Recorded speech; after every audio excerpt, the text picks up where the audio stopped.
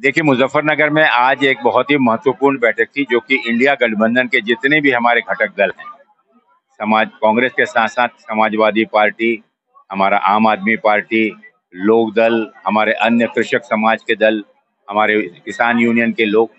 सबके साथ में ये समन्वय बैठक थी।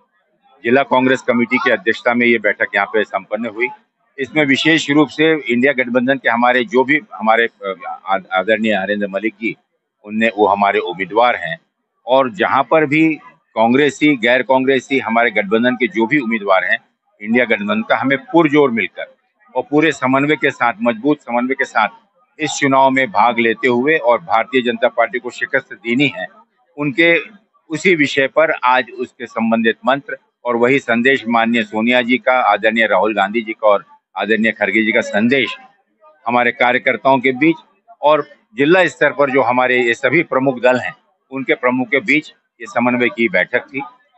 बहुत ही सफल रही, क्योंकि यहाँ पर बेहतर समन्वय, इससे पहले भी दो बैठकें हो चुकी हैं। आज समन्वय की ये तीसरी बैठक थी, जिसमें मैं खुद शामिल हुआ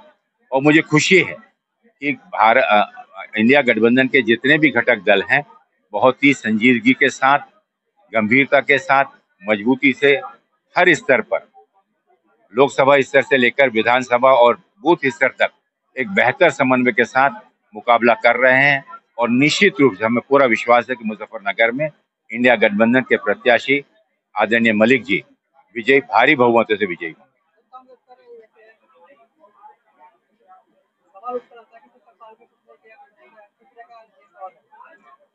एक सौ उनतालीस साल कांग्रेस को हुए इस देश की आज़ादी से लेकर इस देश के राष्ट्र निर्माण में कांग्रेस का जो योगदान हुआ है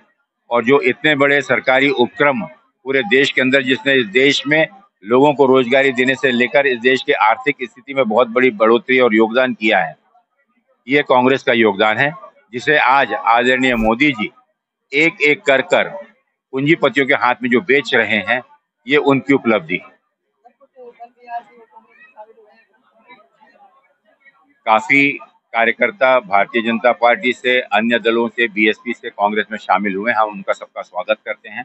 और ज्वाइन करने के साथ साथ कहीं काफ़ी कुछ महत्वपूर्ण, जैसे अभी यहाँ पे श्रीवादी कर्मशील यंग परमार्थी पार्टी, निषाद पार्टी, हमारे अन्य दल के लोग भी इसमें अपना समर्थन, करीबन अभी तक के उनचालीस से लेकर चालीस अलग अलग दलों ने समर्थन अपना ज़ाहिर किया है। हम दिल से उन सब का स्वागत करते हैं। और उनके इस समर्थन की, जो कि बहुत ही अमोल है आज के इस गठबंधन में, इसके लिए विशेष रूप से उनका आभार व्यक्त करते हैं।